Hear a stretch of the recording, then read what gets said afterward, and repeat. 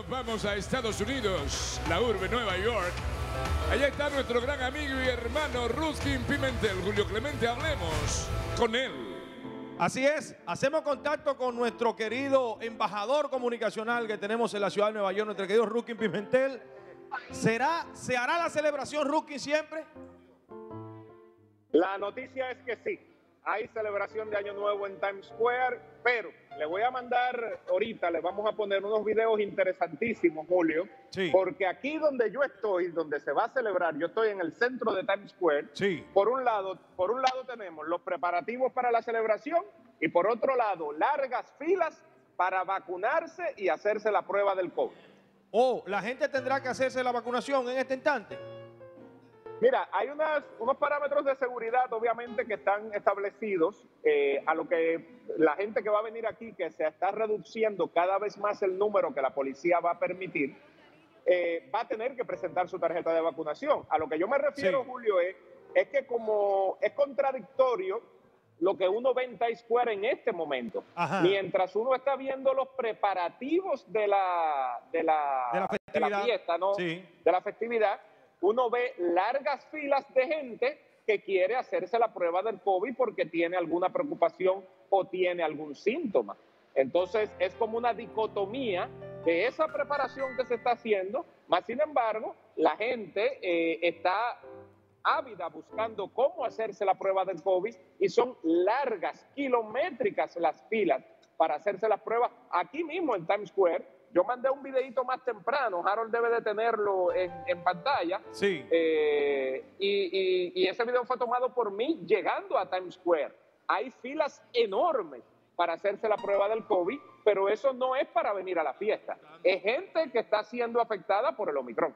Bueno, pues en breve estaremos haciendo contacto contigo, Rukin, para que nos brinde mayor información acerca de esta situación que se está presentando en los Estados Unidos, específicamente en Times Square. La dicotomía o la pregunta era si iba o no iba, pues ya usted sabe que la celebración va. Va. Y mucha gente haciéndose la prueba del COVID por la situación de esta variante Omicron. Bueno, y así es. Estamos en Times Square. Esto es en vivo, señores, para el show del mediodía. Desde donde yo me encuentro, se harán las celebraciones del Año Nuevo, que son, ¿verdad?, históricas aquí en, en Nueva York. Es la caída de la bola, ¿no?, que le llaman, aquí en Times Square. Y más temprano, yo visité Times Square porque hay una gran preocupación con el asunto del Omicron, obviamente, y los niveles de positividad aquí en la ciudad y en todas partes del mundo. En Estados Unidos se está viviendo una situación, ¿verdad?, dramática, sobre todo con relación a la gente que quiere hacerse pruebas, pero no consigue de forma oportuna cómo hacerse. Mire, esas imágenes son de más temprano en el mismo centro de Times Square, donde vemos largas filas, enormes filas, para la gente poder conseguir una prueba para saber si tiene o no COVID. Esto no está relacionado con las festividades, es decir, esto no está relacionado con lo que va a pasar aquí el 31. Estas son las pruebas que están en todas partes en la calle aquí en la ciudad para que la gente vaya a hacerse su prueba del COVID. Y vemos cómo es demasiada la gente para la poca eh, suministros que hay. O sea, la demanda es muy grande para los pocos suministros que hay. La mayoría de los estados están optando por hacer pruebas eh, domésticas, es una prueba que le llega a usted por correo y usted se la puede hacer en su casa, pero hasta eso ha tenido dificultad porque ha sido muy lenta la distribución en los hogares.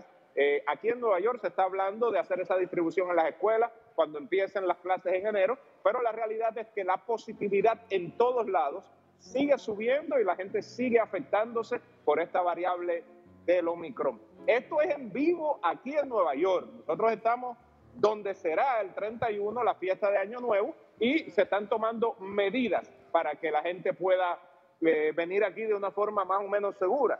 Mascarilla, distanciamiento, eh, usted tiene que estar vacunado, van a limitar la cantidad de gente que se va a llegar aquí. Y recordemos que la fiesta va, y una de las cosas que va a pasar en la fiesta es que se hará la nueva juramentación del alcalde de Nueva York, Eric Adams, que tan pronto termine eso del primer, eh, del, de recibir el, año nuevo, el primer día del año, empezará entonces su juramentación para tomar posesión de la oficina de la alcaldía de aquí, de Nueva York, eh, el nuevo electo, Eric Adams.